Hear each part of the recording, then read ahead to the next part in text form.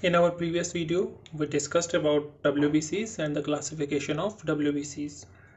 Today, we are going to discuss about functions of different WBC cells. Hello students, I am Dr. Faisal and you are watching Biocean classes. Let's get started.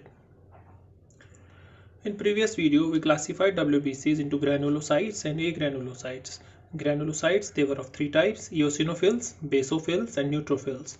Agranulocytes, they were of two types, monocytes and lymphocytes. And lymphocytes, they were of two types, T lymphocytes and B lymphocytes. So let's start first with the eosinophils. Eosinophils, they are called eosinophils because they take up eosin stain and eosin is an acidic stain. So another name for eosinophils is also acidophils. Okay, they are also known as acidophils they are 2 to 3 percent of differential leukocyte count. If we have 100 cells among 100 cells 2 to 3 will be eosinophils. They take up acidic stain eosinophils if we see their nucleus their nucleus is bilobed spectacle shaped. Here we see their nucleus it's bilobed and it's spectacle shaped okay? And if we talk about the granules they have coarse red granules. The color of the granules it is red and they are bigger granules. Coarse granules means they are bigger granules. We need to remember these two points regarding every cell. Key what is the shape of the nucleus and what are the types of granules which are present in them. In eosinophils bilobed spectacle shaped nucleus coarse brick red granules are present. We can see in this diagram we have this spectacle shaped nucleus and we have this coarse brick red color granules which are present in eosinophils. If we talk about function of the eosinophils the eosinophils they are have anti parasite action. And second important thing they are involved in allergic reactions so anti-parasite immunity and allergic reactions that is a function of eosinophils coming to the second cell that is basophil it is called basophil because it takes up the basic stain. It takes basic stain which is basically blue in color. It is 0.5 to 1% of all the mm, WBCs in the blood. Second, the nucleus. The nucleus is S-shaped and it is bilobed. The nucleus is S-shaped and it is bilobed. And if we see the granules, we have blue color coarse, coarse granules which fill up whole of the cell.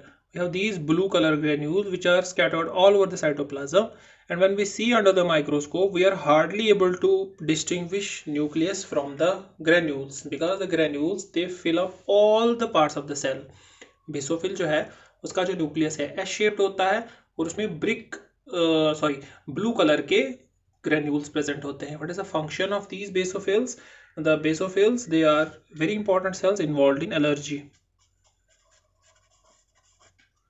ठीक है uh, the basophil cells they contain lot of histamine they contain serotonin they contain histamine serotonin okay and uh, they are involved in the inflammation what is inflammation Inflammation is tissues response to injury जब भी हमें कहीं पर चोट लगती है, जो swelling होती है रेडनेस होती है all the swelling redness pain they are the symptoms of inflammation and basophils as a very important role in the inflammation as well as the allergy basophils are comparable to the mass cells of the tissue they are similar to mast cells okay basophil they are similar to the mass cells and they are the least numerous cells of the blood this is the shape of the basophils then talking about the third type of cell that is neutrophils neutrophils are called neutrophils because they take both acidic as well as the basic stain they are the most numerous cells because they make up 60 to 65 percent of the WBCs.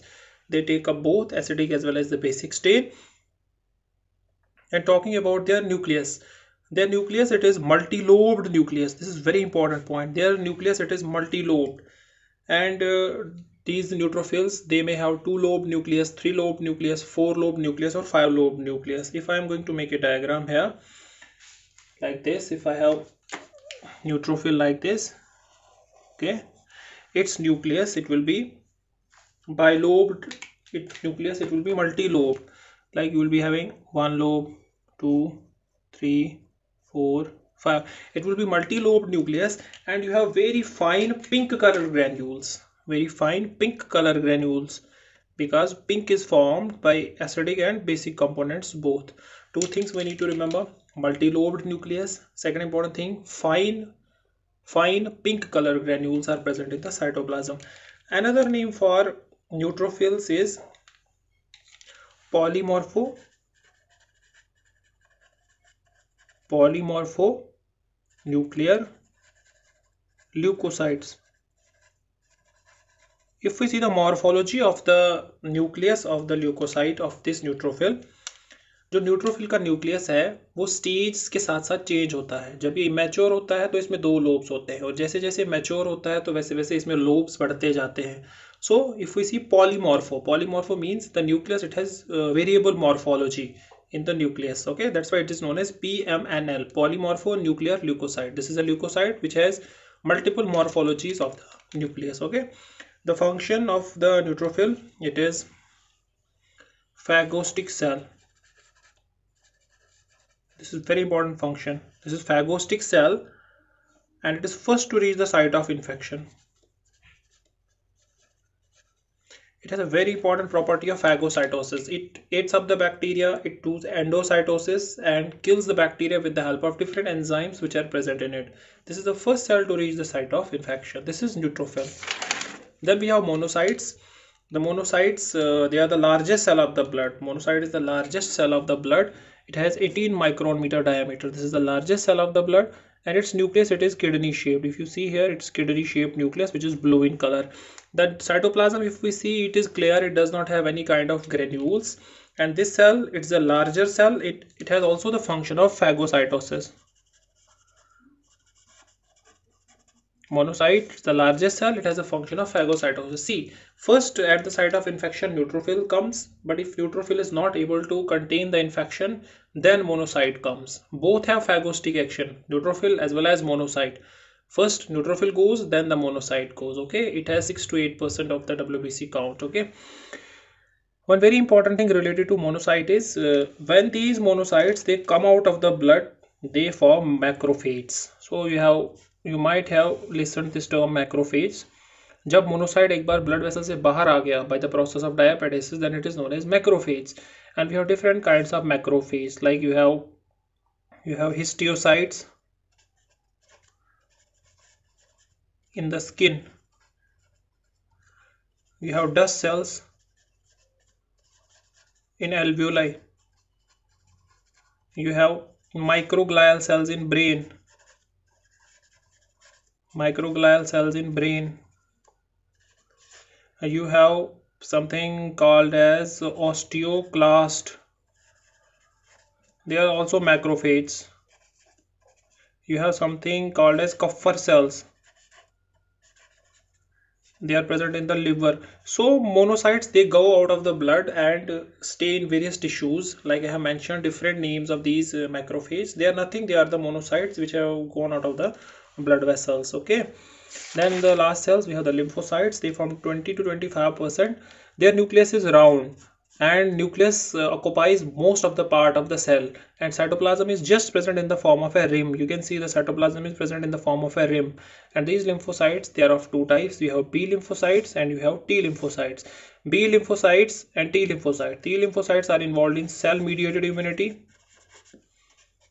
and B lymphocytes are involved in antibody mediated immunity. See, our acquired immunity is by the lymphocytes and our immune system it has two way to fight. हमारा immune system दो तरीके से लड़ता है by forming army of cells or by forming army of proteins called as antibodies. So the cells which fight with the foreign antigen they are uh, T cells so they form cell mediated immunity and uh, the B cells they form antibodies and they try to neutralize the foreign toxin. This cell mediated immunity which is mediated with the help of T cells it also does two very important functions. It is involved in cancer immunity and it is also involved in graft rejection okay so these helper t cells uh, or t lymphocyte they are of different types. We have helper t cells cytotoxic t cells. We will discuss in the chapter of immunity but here you just remember that lymphocytes they have a very important role in adaptive immunity. Adaptive immunity adaptive immunity is with the help of T lymphocytes. So if we summarize all these cells of the blood one by one we have granulocyte like eosinophils they are called eosinophil because they take up acidic stain they are involved in parasite immunity. Basophils they are blue in color they are involved in allergic reactions. Neutrophils they are the important phagocytic cells of the blood. Monocytes largest cell phagocytic. Lymphocytes they provide us acquired immunity. This is related to the classification of the wbcs in our subsequent video we will be discussing about uh, platelets and uh, the clotting systems. If you have any doubt regarding the functioning of wbcs you can ask me in the comment box. If you like this video then share with your friends and don't forget to subscribe to our channel. Thank you for watching this video